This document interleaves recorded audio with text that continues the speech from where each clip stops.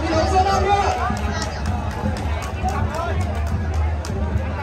được biệt danh là đội Hà Bá của chủ Châu nó của Hoàng Gia Ba đến của Ngọc đến từ phường Ngọc Xuyên.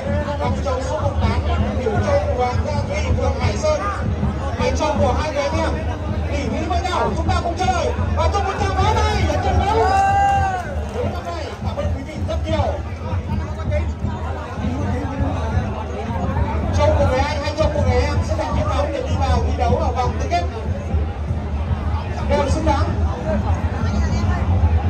trận đấu tối hiến.